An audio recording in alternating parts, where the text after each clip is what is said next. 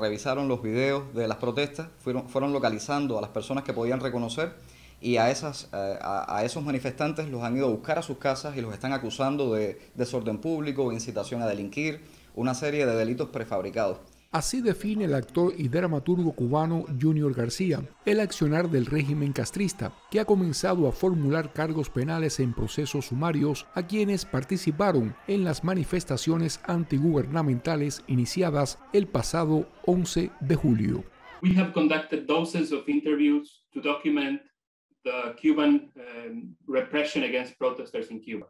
Hemos realizado decenas de entrevistas para documentar la represión contra los manifestantes en Cuba. Hemos concluido que la represión ha sido brutal. Más de 500 personas entre manifestantes, artistas, periodistas y otros han sido detenidos. Según Juan Papier, investigador de Human Rights Watch, en estos juicios sumarísimos no existen garantías procesales ni el debido derecho a la defensa. La fiscal jefe Lisnay María Medros Torres lo dijo claro en la televisión cubana el día 14, tres días tan solo después de las manifestaciones y la razzia posterior.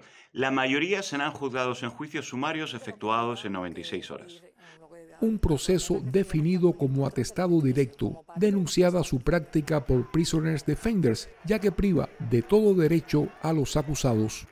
Esto libera al gobierno de involucrar a cientos de abogados no afines y que haya testigos no controlados y funcionarios hablando sobre la verdad de esta razzia. Igualmente clave es que agrupen a los acusados. Esto hace que un solo juez afín a la seguridad del Estado y cuadro del partido sea quien juzgue, y no decenas o cientos de ellos no afines por cada caso. El atestado directo, además, permite que la crisis se resuelva en pocos días. Una crisis que el régimen intenta controlar manteniendo bajo vigilancia y en prisión domiciliaria a decenas de miembros de la sociedad civil críticos al oficialismo. Mi realidad actual es que tengo a cuatro oficiales frente a mi puerta que me impiden salir. Me dijeron, me aclararon que no puedo ni siquiera ir a mi trabajo. Eh, cuando voy a comprar cigarrillos o a buscar comida, uno de ellos va conmigo para vigilarme de cerca. La prensa internacional se ha hecho eco de estos procesos, calificándolos como una forma de sembrar el terror dentro de la población cubana. Luis Guardia, Radio, Televisión Martín.